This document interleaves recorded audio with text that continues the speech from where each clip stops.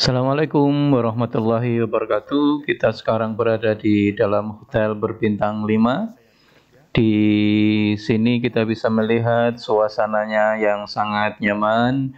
Ada wifi, ada dua kamar tidur, ada televisi, ada tempat kursi, ada tempat apa minum aqua yang tersedia di sana.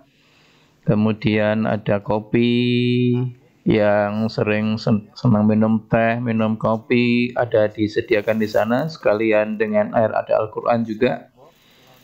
Dengan laundrynya ada juga.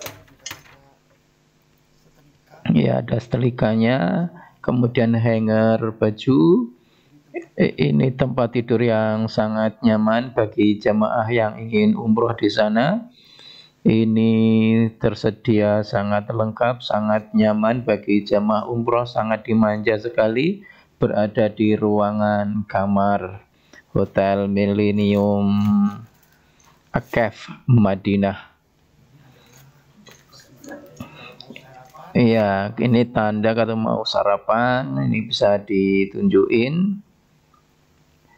Kemudian ya kita menuju ke kamar mandinya. Di sini ada tempat kamar mandi lengkap dengan berbagai macam keperluan, mulai dari sikat gigi, keramas, sabun, lengkap dengan air dengan apa namanya ini? Ya ini air mengguyur dari atasnya air hangatnya. Kemudian ini WC-nya, WC duduk Iya, ke, ke hotel berbintang 5. Bapak Ibu bisa ke sini, bisa booking kalau mau umroh. Semoga masa Covid cepat berlalu. Ya, ini berada di pintu 17.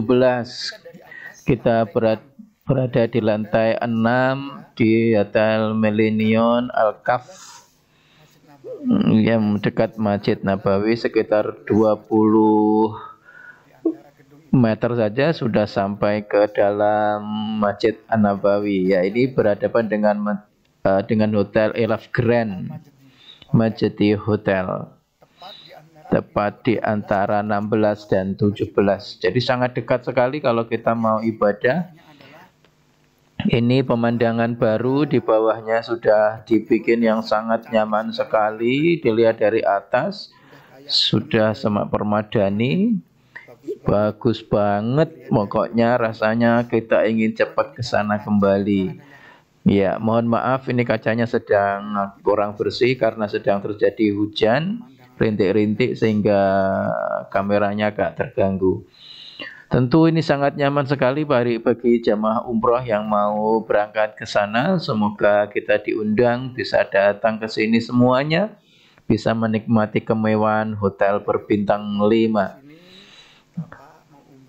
Siapin dana yang banyak agar kita bisa menikmati ibadah yang nyaman. Kemudian ketika capek berada di masjid, kemudian kita bisa tidur di kamar yang mewah ini tentu dengan budget yang agak tinggi.